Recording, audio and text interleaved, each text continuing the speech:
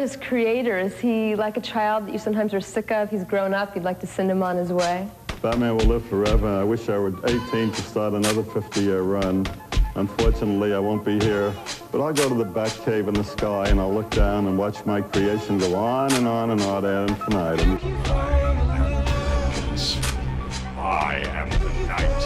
I am Batman. It's not who I am underneath, but what I do that defines me.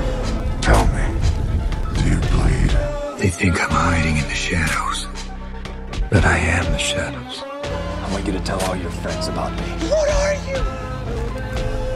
I'm Batman.